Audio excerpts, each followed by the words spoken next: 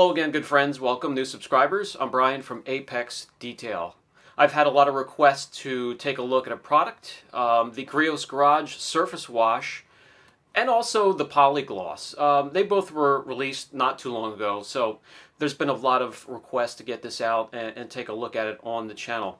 Now, the Polygloss I really don't have a use for. I can't use anything with gloss enhancers.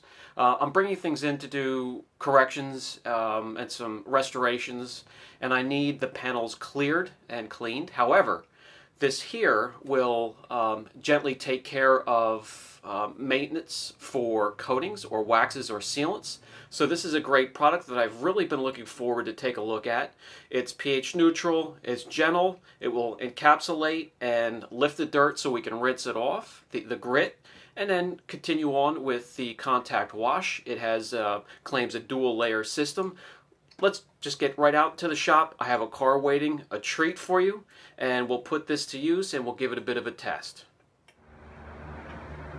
Griot's Garage Foaming Surface Wash. You can get it in the 32 ounces like I have it here. You can also grab a gallon of it. 32 ounces, 19.99. A gallon of it, 50 bucks.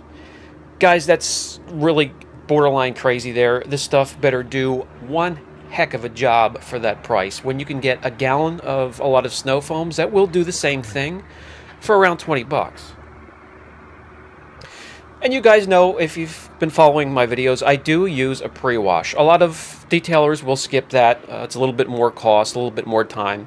I value what it does for me removing grit, especially on something like this. This is a 37 Cadillac. It's in storage. And a lot of the storage facilities, you know, your car won't come out crazy dirty or muddy, but it will have grit from the existing block or whatever material that the storage unit is made of sitting on the top of the car. Very, very abrasive. And that's where a product like this will come into great use.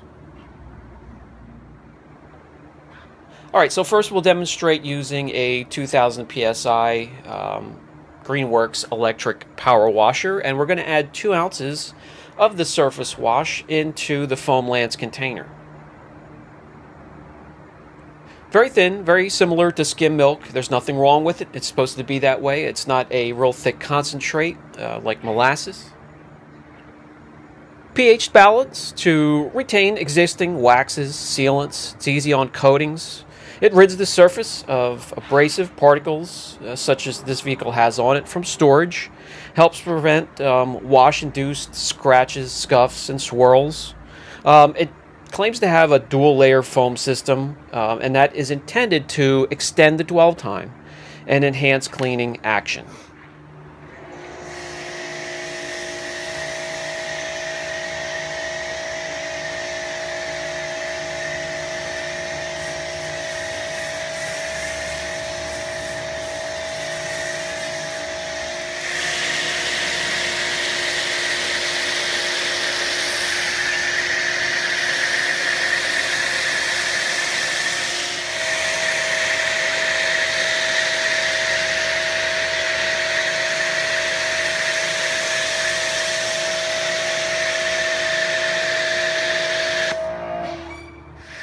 Now the back of the container on the label will give you mixing ratios for the Boss system, and that includes their foam cannon, their foaming sprayer, their pump-up sprayer, and also their sudsing gun. Uh, these are the ratios um, that work in just a regular foam cannon. We're going to use it in the IK Foam 9 Foamer. We're also going to use it in an MTM PF22, and we'll hook that up to a 3100 PSI gas-powered pressure washer. In a dual layer system, your first layer, tight celled bubbles, uh, will cling to the surface, while the outer layer with larger celled will run down and start running off the car. This is what it looks like after 12 minutes. I waited a little bit longer than I usually do. It's really hot and it's starting to dry in sections. No worries whatsoever, pH neutral. Grab your rinse, whatever you're going to use, a hose or power washer, make it wet, it'll reactivate, then you can successfully rinse from there. Alright, so let's get to the car. This is an absolute no-no, using a power washer on a car like this, and that's especially if you don't know the vehicle, if it's a new customer. I know what I'm dealing with here. I could use this as a demonstration.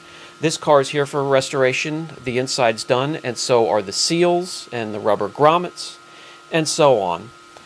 Gentle rinsing. Um, even if you want to do a contact wash, it's probably better to use a waterless wash, a rinseless wash. If you have to do hands um, contact wash, use a hose, take the tip off of it, and just gently rinse it with free flowing water. Stay away from the seals and the windows if you don't know what you're dealing with.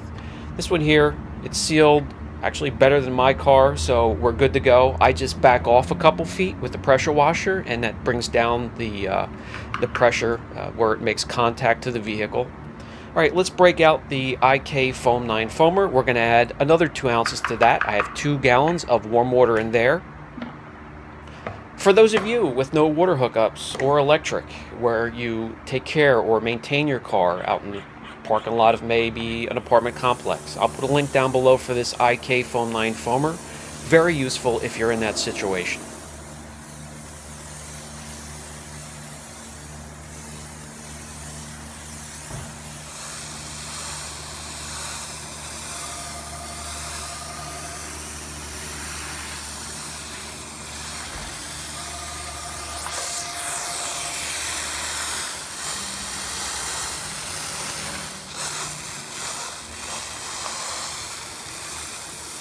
We'll get into more detail and uh, we'll get some more information and history. Uh, this vehicle has long-standing history and tradition. We're going to be doing a paint correction and restoration and we'll do some protection on it as well, so it's going to be here for a while. And it's not until we pull the car out into direct sunlight will where you'll be able to really enjoy the, the color and the, the aspects and, and the depth of the color on this. We'll do that. Um, we're going to have some more videos on it all right, so finally we'll test it out in the MTM PF22, hook it up to a gas-powered pressure washer. So this is what it will do and how it will react to 3100 PSI or higher.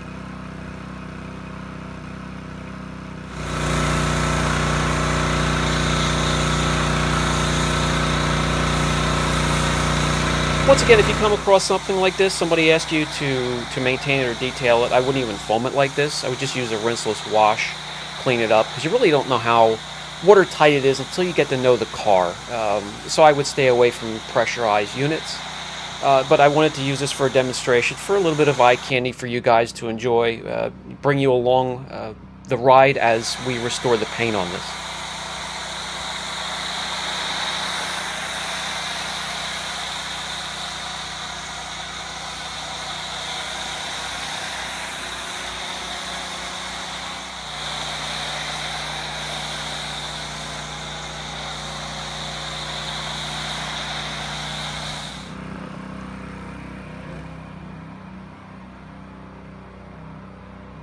Alright, so here we have the first few seconds after it's laid down. It's just starting to dwell. I'm going to leave this on here again for another 10 minutes before I rinse it.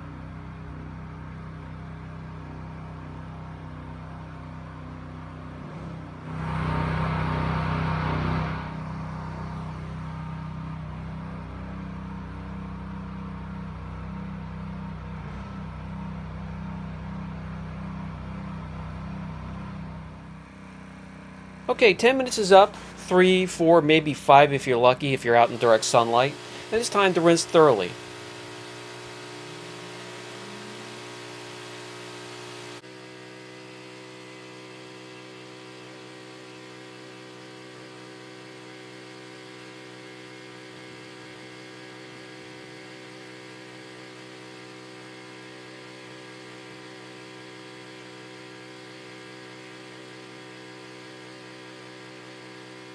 Okay, it's done exactly what I use them for. Uh, I just use them for removing a little bit of grittiness to cut back on the chances of swirling and marring. I know some of these foamers claim to do a lot more.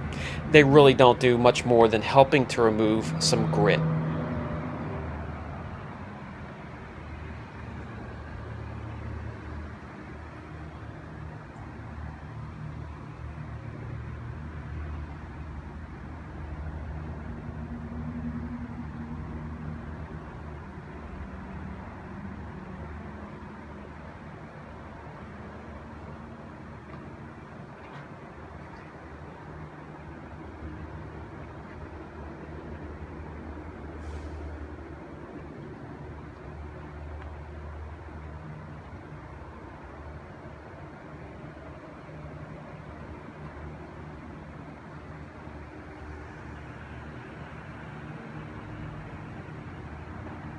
For some final thoughts on the Griot's Garage Foaming Surface Wash.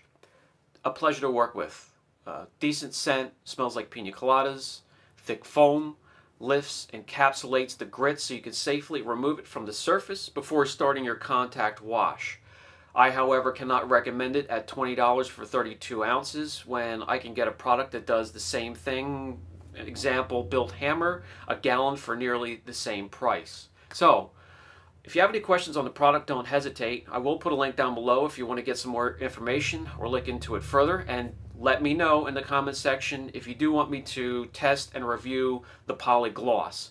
Also released at about the same time as the Surface Wash from Griot's Garage. Until then, you guys have a great day. See you in the next video.